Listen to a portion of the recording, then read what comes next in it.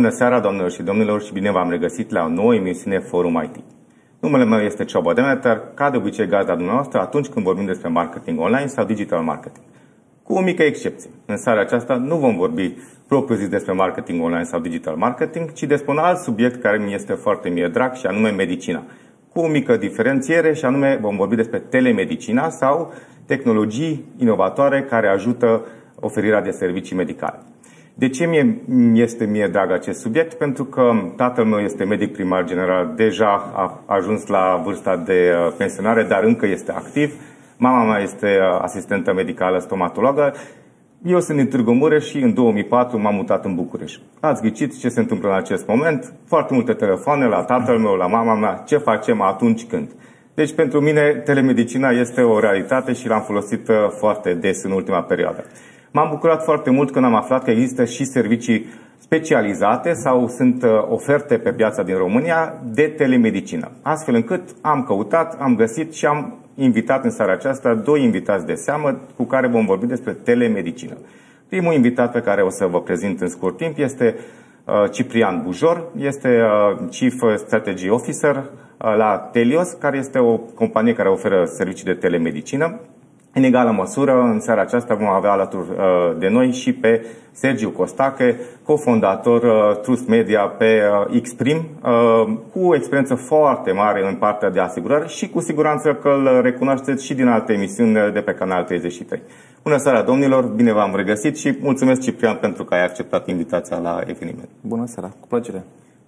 Mulțumesc, Sergiu, că iarăși ești alături de noi. Și eu mulțumesc. E o provocare pentru mine povestea asta cu telemedicina, dar uh, cred că sunt multe lucruri de spus aici. Cu siguranță, în seara aceasta mi-am propus să fie o, o altă emisiune foarte pragmatică la subiect, astfel încât toți telespectatorii și YouTube-spectatorii să înțeleagă despre ce este vorba. Cu ocazia aceasta vă încurajez să ne lansați întrebările dumneavoastră. Am, uh, cu un ochi mă uit în uh, monitorul de pe calculator. O să încerc să le pun uh, întrebările dumneavoastră telespectatorilor, invitațiilor, scuze. Haideți să începem cu începutul atunci. Și anume, vorbim despre telemedicină. Să înțelegem mai bine. Ce este telemedicina? Ciprian. Telemedicina este un serviciu pe care îl poți oferi actualmente de la distanță, astfel în, un serviciu medical, ă, astfel încât cel care solicită serviciul și cel care îl oferă sau îl acordă se află în două locuri ă, diferite. Asta nu înseamnă că, se, că, se, că ar crește distanța dintre uh, medic și pacient, din potrivă, ci că de fapt se reduce, uh, iar pacientul practic are acces la un serviciu rapid, uh, fără să piardă timp pentru a-l accesa și într-o manieră modernă, apelând tehnologie și la mijloace de comunicație. Ai spus câteva cuvinte despre cum funcționează. Vorbim cu uh, uh, Sergiu Costache vis-a-vis de asigurări. Cum se integrează telemedicina în, în, în contextul acesta de asigurări? E destul de simplu. Asigurătorii oferă servicii medicale prin intermediul asigurărilor de medicale de călătorie, uh, asigurărilor medicale. Uh, ele se funcționează în două feluri. Uh, primul, ești internat, ai un serviciu de urgență, ți se plătesc zilele de spitalizare. Deci tu plătești o primă, închei o poliță de asigurare, ți se plătesc zilele de spitalizare. Asta e forma cea mai simplă. Știi de la bun început, dacă ești internat 7 zile, ori 500 de lei, înseamnă 3500 de lei, știi exact câți bani îți intră în, în buzunar. Forma mai complicată la, la asigurători este aceea în care ți se decontează serviciile medicale. Ori ai plătit tu și primești banii înapoi, ori ți se spune, uite, la aceste 800 de clinici tu te poți duce și poți să te, te tratezi, nu scoți niciun ban din buzunar. Toate astea în baza poliției de asigurare. E, în momentul în care apare telemedicina, se produce un fenomen foarte interesant. O să scadă costurile acestor uh, servicii, o să scadă costul uh, primei de asigurare și uite așa, și asigurătorii vor fi fericiți și clienții și cred că și furnizorii de servicii. Cu siguranță. Iată că e o situație win-win, adică câștig-câștig pentru, pentru toți și pentru furnizori și pentru clienți, adică beneficiari, pacienți, potențial pacienți și pentru asiguratori. Uh, Ciprian, Vorbim despre telemedicină.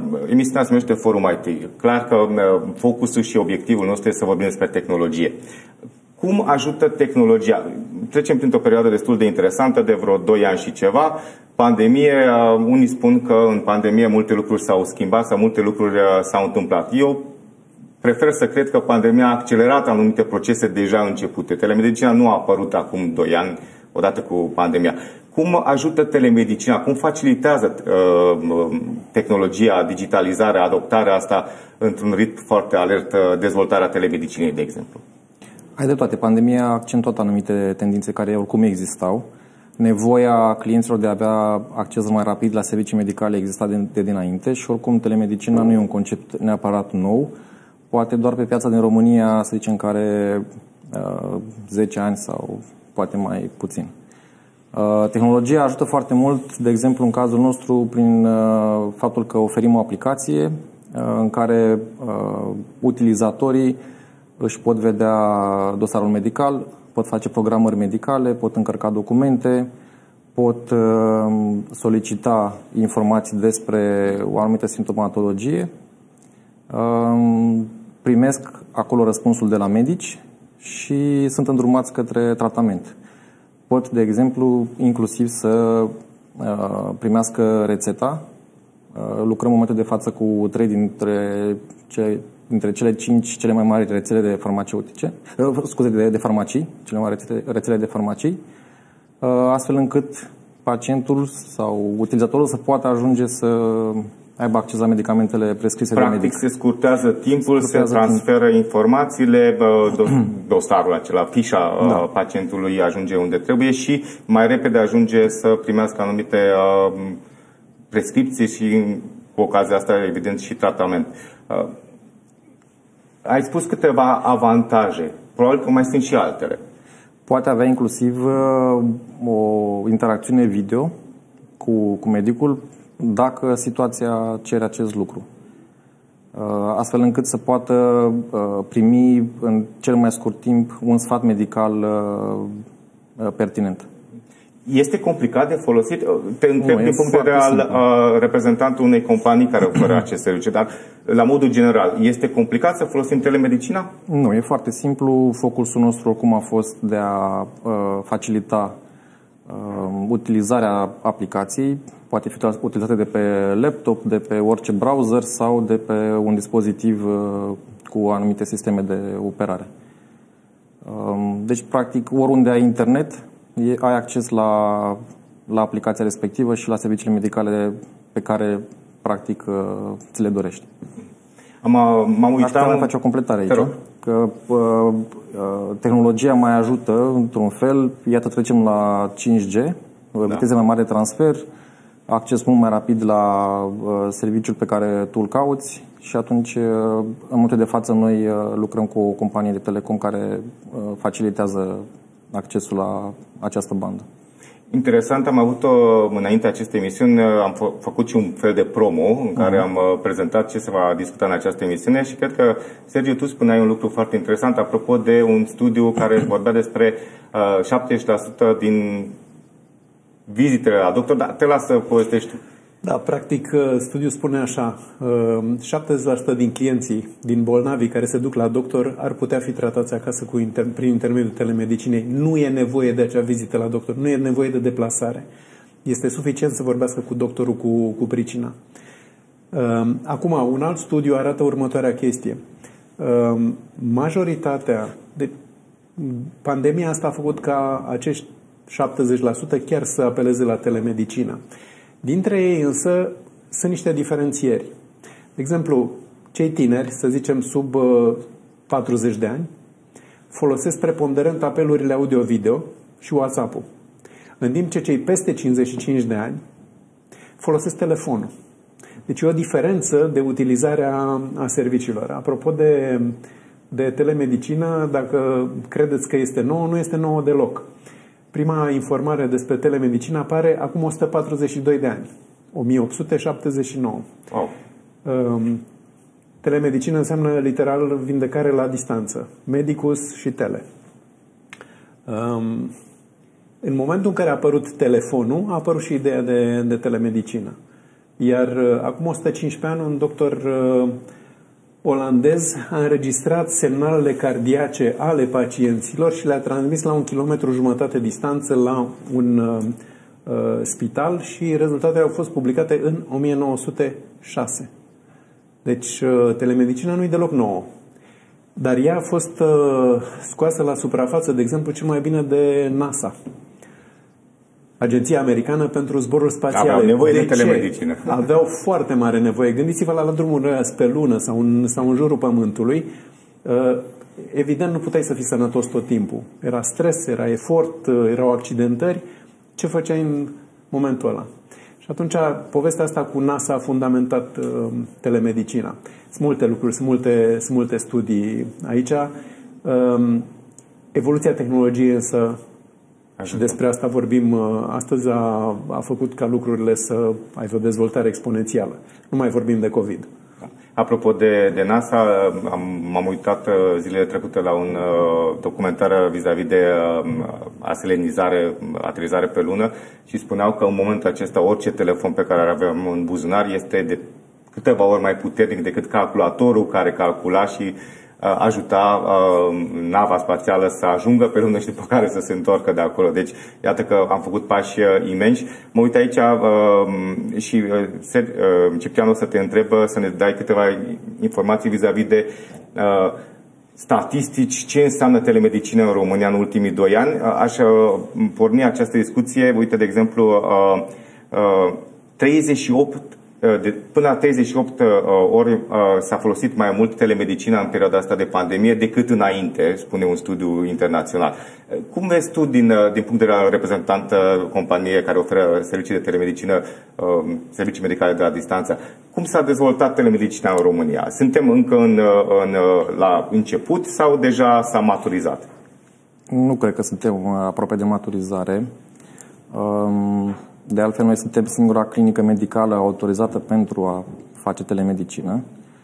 Um, avem doctori angajați, avem uh, asistenți angajați, iar personalul uh, nostru este specializat pentru a oferi acest uh, tip de serviciu. Mai sunt și alți clinici. jucători în piață care oferă sunt, servicii de telemedicină. Medicale, dar nu sunt clinici medicale. Um, ce aș putea să vă zic este că Uh, am constatat că în ultimii doi ani a crescut cu peste 700% numărul utilizatorilor activi în uh, ecosistemul nostru. Uh, de asemenea, apropo de ce spunea Sergiu, că prima telemedicină a fost făcută prin telefon, în continuare se folosește telefonul pentru a accesa sfatul medicului Uh, sau pentru a accesa serviciile noastre. Cea mai mare parte a celor care le utilizează folosesc această, această cale, undeva pe la 55%, spre 60%. Um, restul folosesc uh, mijloace uh, din, din aplicația pe care o punem la dispoziție pentru a scrie medicului să ai semnala în aplicație anumite probleme medicale la care primește, trebuie să primească răspuns și încercăm să facem acest lucru în cel mai scurt timp posibil. Um, de multe ori se întâmplă în câteva minute, răspunsul să-l poți avea. Um, iar diferența se duce către zona video și am constatat în ultimul timp că România a început să aprecieze și această cale de comunicare. E, e foarte frumos ce, ce spuneți, domnilor, uh, și arată uh, sau sună aproape science fiction dacă ne-am duce înapoi în timp 10 uh, ani sau 20 de ani telemedicina la sate, unde nu avem acoperire sau avem acoperire. Din fericire, România stăm destul de bine pe acoperire. Bine. Și uh, reticența oamenilor apropo de, de adopția telemedicinei, cum stăm la Reticență poate mai degrabă vorba despre obișnuința de a folosi, de a intra într-un anumit fel în legătură cu medicul. Um, de aceea, probabil că mulți folosesc în continuare telefonul atunci când uh, apelează clinica, Uh, de aceea, probabil că mulți primul, primul, au primul impuls de a merge către o clinică medicală fizică pentru a accesa serviciul medical. Uh, însă aceste uh, obișnuințe se schimbă, ca orice fel de obișnuințe. În momentul în care... Văd că vrei să spui ceva, da, În momentul în care publicul larg va constata că nedeplasarea la medic îi rezolvă problema și în afară de asta... O parte din problemă. Există Ce așa... poate rezolva din ea? 70% se da. pot rezolva. Asta da. o spun uh, statisticile. Acum imaginează-ți următoarea situație. omul își rezolvă problema care o are, sau cel puțin într-o proporție de 70%. Sigur că nu poți fi operat încă prin telefon sau prin, uh, prin apel video. Dar, poți de la Dar o mulțime de alte lucruri, se, exact, se poate. Există sisteme expert uh, care folosesc inteligența artificială și care au un grad de acuratețe, nu pe toate domeniile medicinei, de 98%. Adică sunt mai buni decât orice medic aflat la început de carieră, la mijloc de carieră și unii chiar la sfârșit de carieră. Uh, Marele pericol la telemedicină care a fost sesizat de cei care au făcut uh, studii este acela că medicii poate, pot să ajungă într-un fenomen de burnout. Deci, uh, supra-solicitarea medicilor care uh, asigură și uh, tratamentul uh, în clinică și trebuie să răspundă și la apeluri video și audio și mesaje. Deci acolo este pericolul, e pericolul foarte mare. Însă, este o industrie Uh, se apreciază de către tot așa un studiu internațional, se estimează că până la 250 de miliarde de dolari, adică 250 urmat de 6 zerouri, din cheltuielile cu asistență medicală din SUA ar putea fi transformate, duse spre îngrijirea virtuală. Cu aceeași uh, impact sau cu, ace- sau cu aceeași efect benefic. Exact. exact. Deci atingerea potențialului ăsta însă nu e inevitabilă. Ce s-a observat la criză? Um, folosirea telemedicinei s-a dus spre 70, a crescut de 78 de ori. Trece vârful ăla din aprilie-mai 2020 uh, și pe urmă se duce și se stabilizează, acum e doar de 38 mai mare, de 38 de ori mai mare. Nu știu dacă e mult, nu știu dacă e puțin. Mie mi se pare enorm privit din faptul că nu se folosea aproape deloc. Um, Asta e clar tendința pentru, pentru viitor. Asigurătorii au sesizat deja, deja potențialul ăsta și toți au început să ofere în cadrul poliților de asigurare de, de sănătate servicii de telemedicină. Uh, nu știu, poate ne spune Ciprian cum funcționează uh, colaborarea cu, cu asigurătorii, pentru că iar aș fi vrut să știu punctul de vedere al unui uh, unui practician, al unui furnizor de, de, de servicii. Cum vă înțelegeți cu, cu companiile de, de asigurare? Um, înțelegem foarte bine. La început, ca în orice colaborare, a fost uh, nevoie de a clădi încrederea și acest lucru s-a întâmplat în ultimii ani. Uh, în momentul de față lucrăm cu uh, printre cei mai mari asiguratori din uh, piața din România, și oferim uh, servicii de telemedicină în cadrul uh, unor parteneriate pe care le-am încheiat cu aceștia. Aș face o precizare și anume faptul că telemedicina nu încearcă să se substituie uh, medicinei clasice, ci este doar complementară. Practic, noi încercăm să oferim un serviciu mai bun sau acces la servicii medicale de aceeași calitate și de o calitate foarte bună, în niște condiții adaptate la condițiile actuale și de piață și uh, iată cum a fost pandemia de Vorbim mediu. de viața mediu, noastră care de s-a accelerat zi cu foarte zi. mult. Da. Uh, nu are rost să pierzi timp în trafic pentru a merge să ți se analizeze, să ți, ți se interpreteze o analiză, de exemplu. Poți să o încarci într-o aplicație de telemedicină și să-ți, o, să-ți primești răspunsul în cadrul acestea de la medic. Revenind la asigurator, colaborarea e foarte bună, interesul este de ambele părți, evident.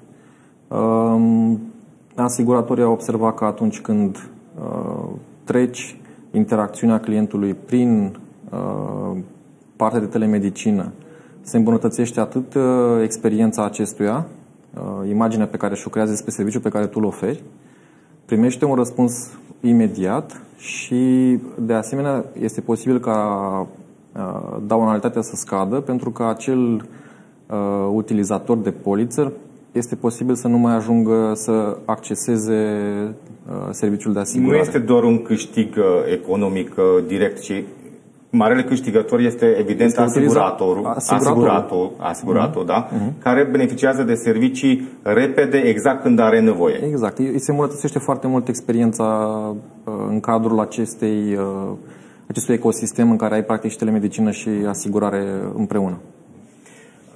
E o companie care realizează foarte multe studii iSense, nu știu dacă ați auzit de ei. Uh, ei au prezentat uh, acum, uh, cred că la sfârșitul anului trecut, uh, mai multe studii care arată că românii vor persista cu anumite uh, reflexe dezvoltate pe, pe de-a lungul pandemiei. De exemplu, uh, nu de ei, dar uh, din acest context că ceea ce învățăm să facem acum vom face. Se spune că dacă vrei să înveți să faci un lucru nou, trebuie să perseverezi timp de 21 de zile. Ei, pandemia asta durează mai mult decât de 21 de zile, deci probabil că uh, noile comportamente vor fi persistente și în viitor. Uite, de exemplu, un studiu interesant arată că 20% dintre pacienți spun că, spun că ar schimba doctorul dacă medicul lor nu ar oferi opțiune de consultație virtuală sau să răspundă la telefon. Despre subiectul acesta și despre multe alte subiecte foarte interesante, despre reglementare, despre care sunt limitele sau care sunt provocările telemedicinei, vom vorbi după o scurtă pauză de publicitate.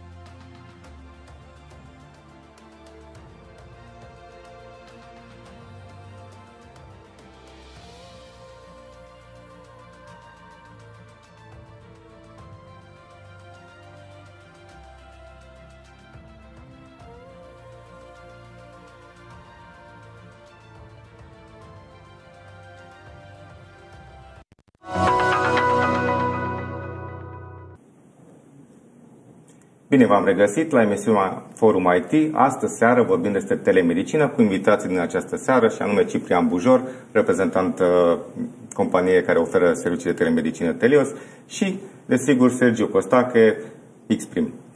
Înainte de pauză vorbeam despre reglementare. Poate telespectatorii și YouTube spectatorii noștri se uită la noi și se gândesc oare e legal? E, avem un cadru legal?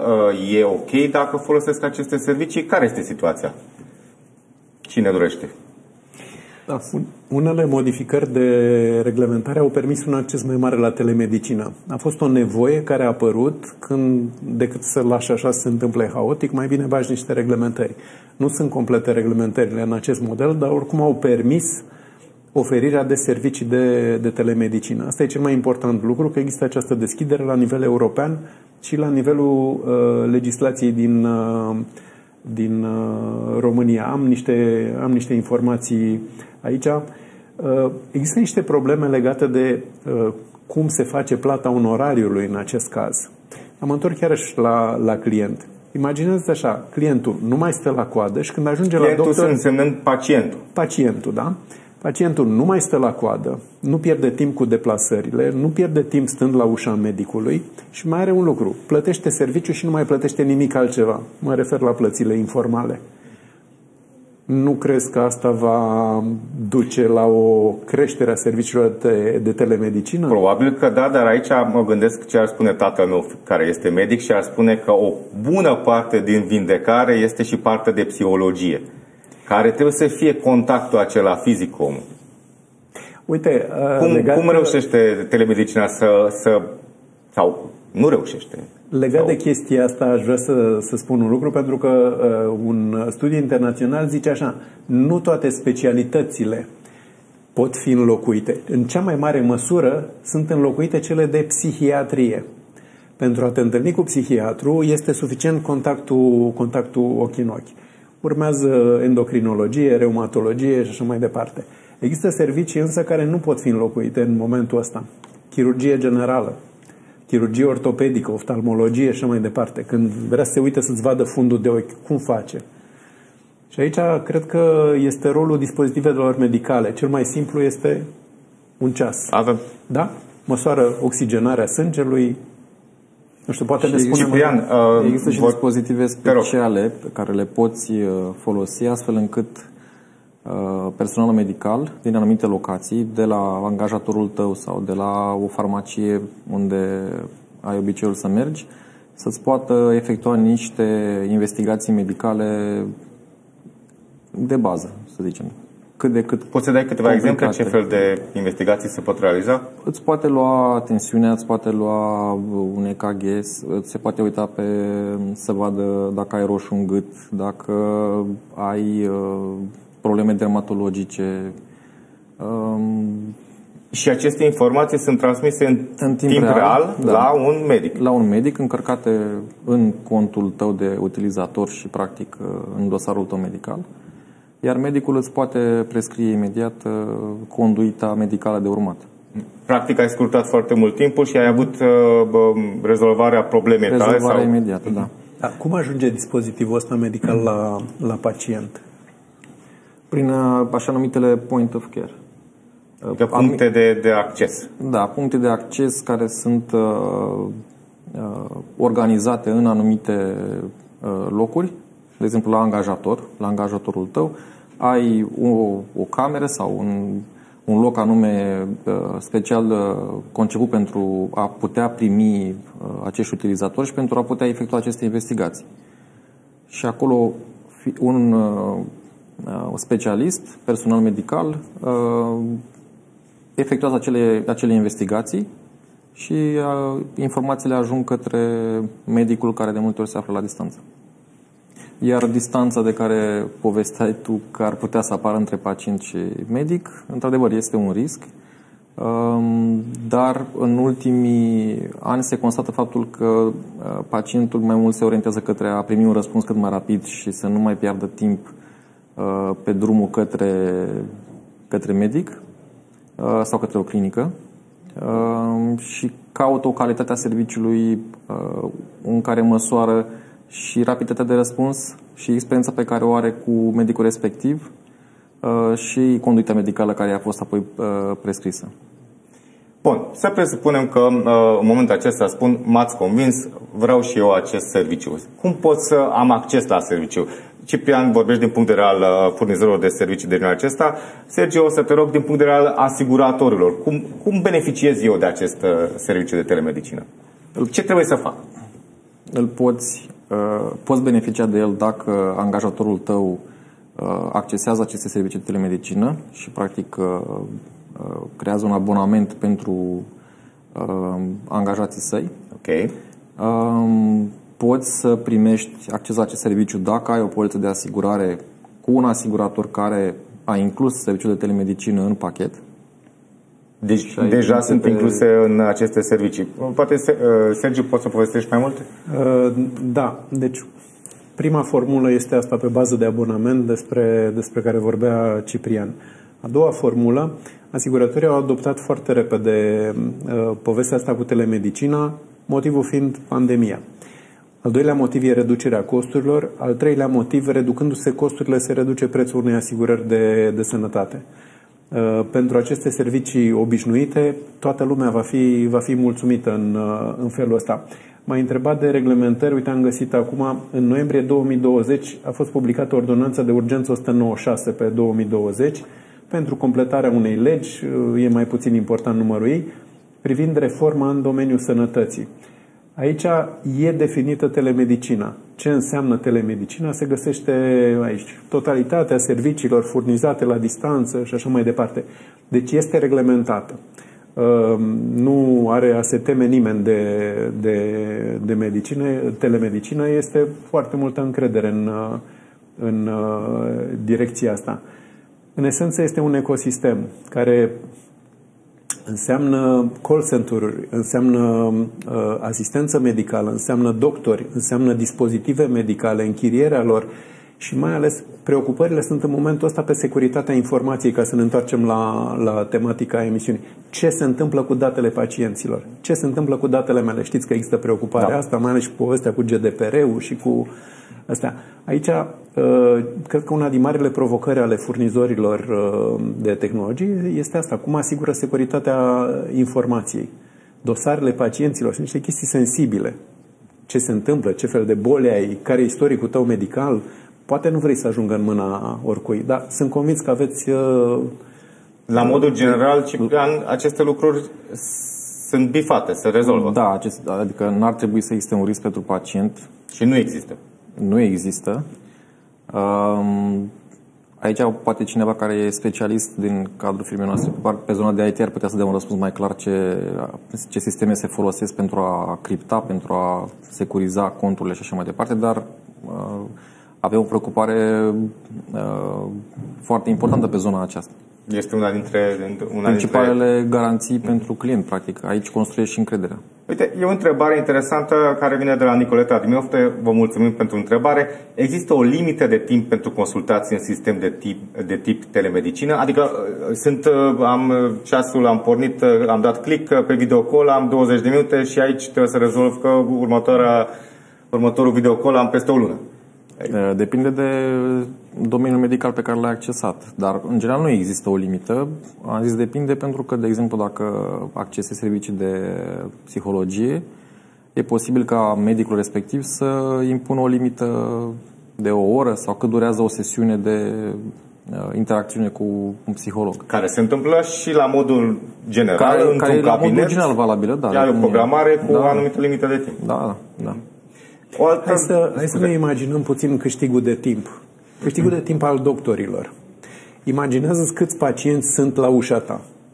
Imaginează că sunt cu 70% mai puțini și că poți să-i rezolvi printr-un apel sau printr-un mesaj pe, pe WhatsApp. Se descongestionează spitalele și până la urmă și medicii au viața mai, uh, mai ușoară din punctul ăsta de vedere. Și la cei, acei 30% care trebuie și ajung la ei, poate să se, uh, te să concentrezi. se concentreze. Uh-huh. Exact, okay. te concentrezi pe ei. Întrebare interesantă, uh, la fel. Știți că românul este tot uh, cunoscător și știutor. Uh, cred că fiecare nație are această problemă, nu doar noi uh, românii, dar noi spunem Caută așa. pe Google. Cum se înțelege telemedicina cu, ghiciți, automedica, automedicația? Da? Adică citesc eu și uh, eu știu că trebuie să iau acele lucruri. Păi cum se înțelege? Ar trebui să nu se înțeleagă.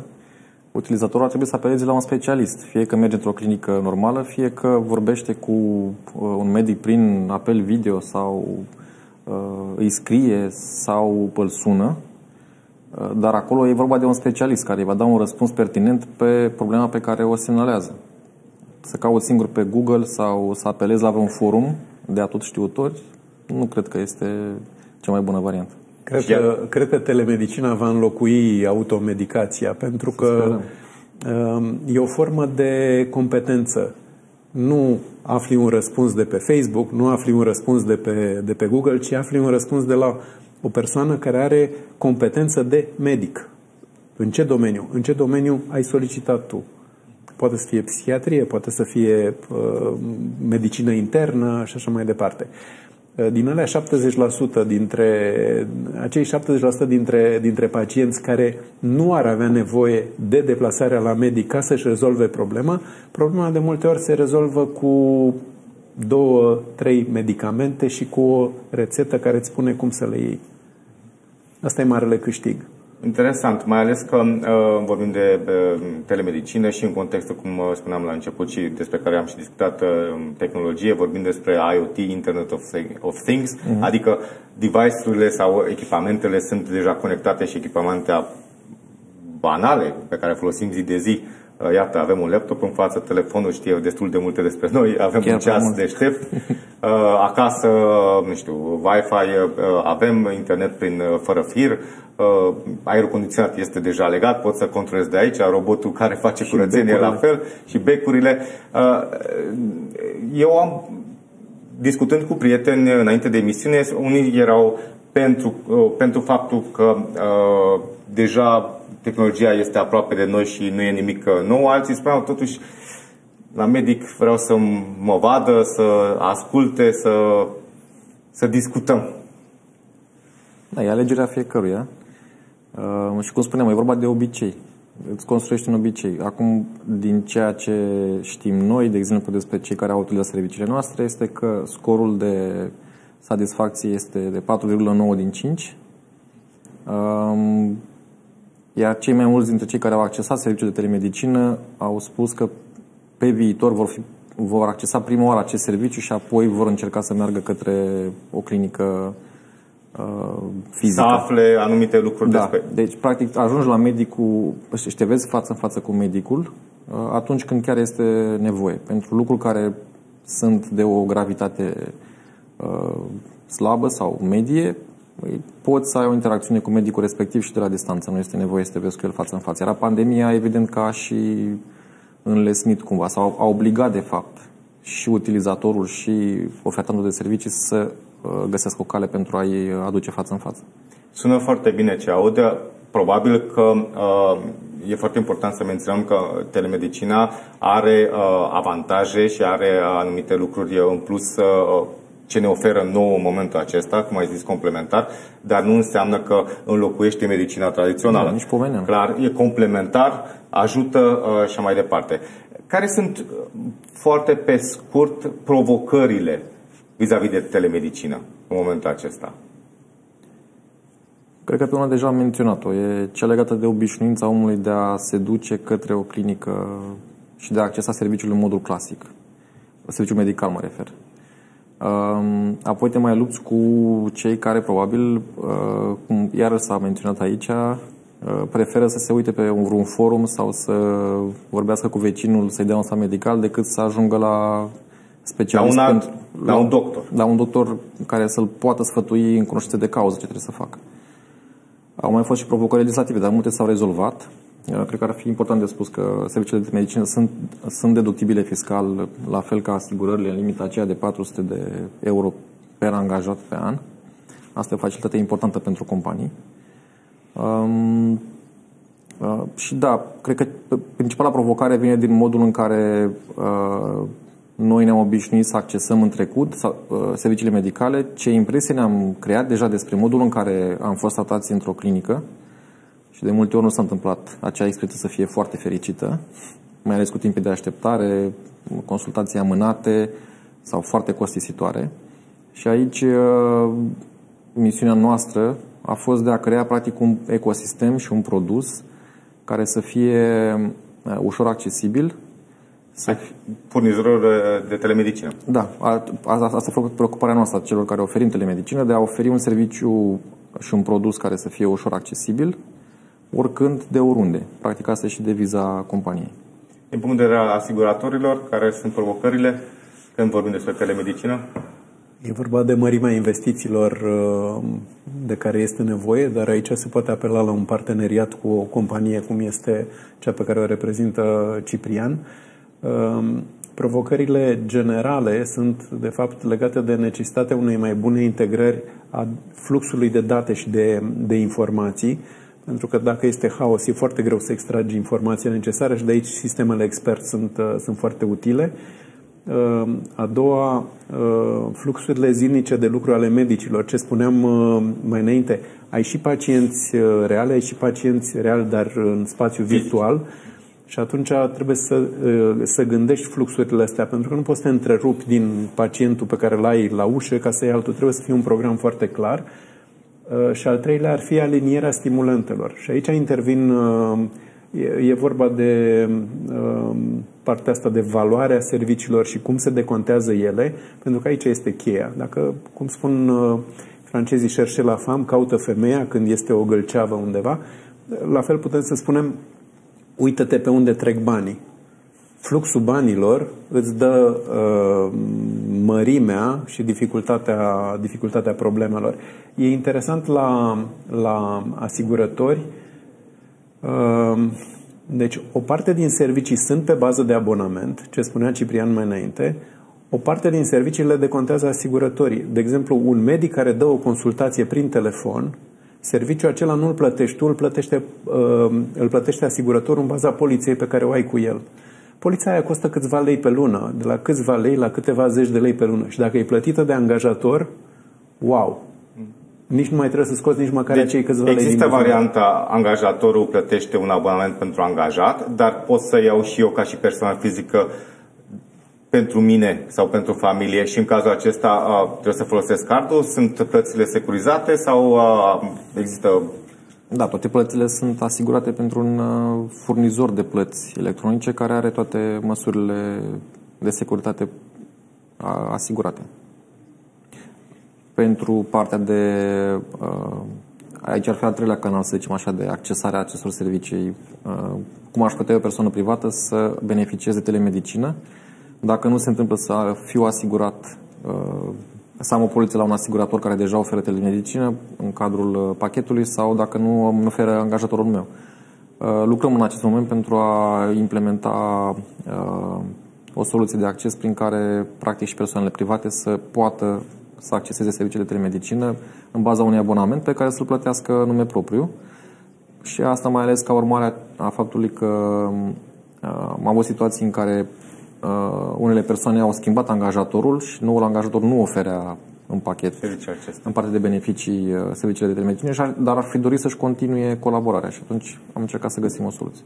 Pe aceeași uh, subiect și anume uh, securitatea plăților e o întrebare. În pandemie, pandemie România a învățat să dea cu cardul repede, fără să verifice autenticitatea ofertei și pierd. Telemedicina este vizată de practicile de hacking financiar?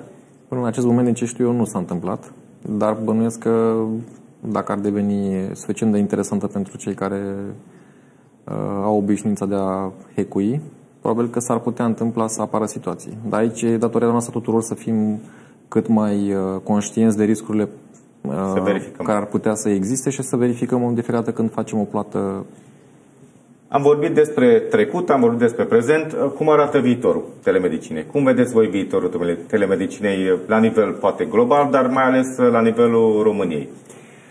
Aș începe cu faptul că vom merge la spital doar pentru prevenirea bolilor. Da? Deși și asta se poate face nu prin telemedicină. Tratare. Nu tratare, prevenirea bolilor. Um, o să mergem pentru îngrijire acută, o să mergem pentru proceduri chirurgicale și o să mergem pentru acele mari aparate de radiologie, CT, RMN și așa mai departe. În rest putem să stăm liniștiți acasă, să fim tratați la distanță, să ni se monitorizeze uh, fie cu un dispozitiv cum este ceasul inteligent, fie cu dispozitive cum uh, sunt uh, puse la dispoziție de firme cum este cea pe care o reprezintă Ciprian. Medicii vor petrece probabil jumate din timpul lor în clinică și jumate dând Online. mesaje, având apeluri video. Cred că deja mulți dintre ei vor începe să apeleze la sistemul expert. Deci sistemul expert e al spitalului și medicul uh, îl accesează și își verifică propriile informații, le dă într-un timp foarte, foarte scurt, foarte rapid. Gândiți-vă, 98% din serviciile medicale, 97% din serviciile juridice le pot furniza cu un grad de acuratețe de aproape 100% serviciile de inteligență artificială. Interesant, interesant uh, lume, vezi, uh, Sergiu Ciprian, Apropo, tu cum vezi? Apropo viitor? de mentalități, în România suntem obișnuiți să mergem la medic pentru aproape orice fel de uh, probleme pe care o întâmpinăm. În timp ce sunt țări din Europa în care uh, inclusiv nașterile au loc acasă, nu la spital. Și ești asistat de multe ori de la distanță de, de medicul uh, respectiv sau vine o moașă la, acasă și uh, ajută uh, mama. Deci, practic, uh, E vorba și de modul în care oamenii s-au obișnuit să acceseze aceste servicii. Pe măsură ce vor observa că este foarte ușor pentru ei și uh, experiența pe care o au este foarte bună, uh, va crește cu siguranță uh, nivelul de accesare a acestor servicii de la distanță și previziunea noastră este că în viitor, cum spunea și Sergiu, mare parte din uh, medicină se va face de la distanță, multe dintre investigații se vor face la distanță, și probabil că și multe tratamente vor, vor fi aplicate la distanță, cu diferite specializări. Chiar și pe chirurgie, mai nou se poate face de la să operezi. Doctorul este într-un spital, într-un oraș și operația are loc în alt oraș. Până acum la, la modul uh, mai mult de, de experiment, să zicem, programe pilot, dar cu siguranță vor deveni în câțiva ani uh, regulă. Suntem la finalul emisiunii. Uh, vă adresez o întrebare surpriză. Uh, și anume, gândiți-vă că ați putea să aveți o superputere din domeniul vostru de activitate, telemedicină, respectiv uh, organizare de evenimente și nu numai din sfera asigurărilor. Care ar fi această superputere pe care să aveți? Dacă aș avea o baghetă magică, um, aș schimba peste noapte mentalitatea uh, poporului român, a popoarelor europene și la nivel mondial, pentru că, așa cum spuneai mai înainte, nu suntem numai noi așa. Spune, okay. noi românii suntem nu știu cum. Nu, studiați la nivel mondial și cam toată lumea e nu știu cum. Deci baghetă magică pentru schimbarea mentalităților. Interesant. Ciprian? E greu de răspuns. Superman al telemedicinei. Probabil să reușim într-un timp cât mai scurt să creăm un uh, produs și un ecosistem atât de bun încât să poată cu adevărat să fie Uh, accesat de cât mai mulți dintre români, de oriunde, practic, și atunci când chiar au nevoie și să primească răspunsul pe care îl așteaptă. La un nivel... La un nivel de calitate foarte, foarte înalt. Domnilor, eu vă mulțumesc foarte mult pentru participare. Uh, mi-a plăcut mulțumesc foarte mult emisiunea. Am, am uh, înțeles și am învățat destul de multe. Sper că este un deschizător de drumuri această emisiune. Vă așteptăm cu drag și altă dată. Uh, Sergiu, îți mulțumesc, Ciprian, îți mulțumesc, telespectatorilor, la fel, vă mulțumesc pentru că ați uh, fost alături de noi. Sper să ne urmăriți și săptămâna viitoare. Până atunci, vă doresc o seară plăcută și alegeri inspirate.